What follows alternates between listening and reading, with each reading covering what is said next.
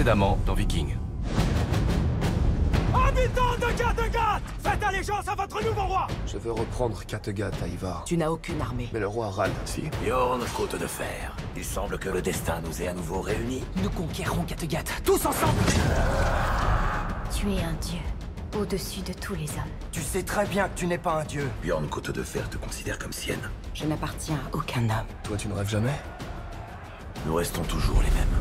Faisons semblant de changer, c'est tout. J'ai failli mourir, mais je suis né à nouveau. La seule chose que j'ai apprise, c'est que la vie est faite de souffrance. Il souffle à voix basse que ce serait moi l'ennemi. Ce sont eux, nos ennemis. Au temps où Ragnar gouvernait, tout le monde était libre. Il ne les a jamais obligés à le vénérer. Thora est morte. Ivar l'a brûlée vive. Roi Olaf, je suis venu vous demander d'attaquer Ivar et de le renverser lui, roi de Kattegat.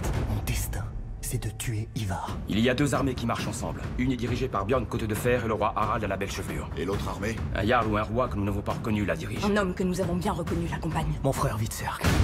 En avant Venez voir Venez voir la fin de l'humanité C'est un monstre. Vous devez l'arrêter. Peuple de Kattegat On est ici pour vous libérer Je leur ai ouvert la porte.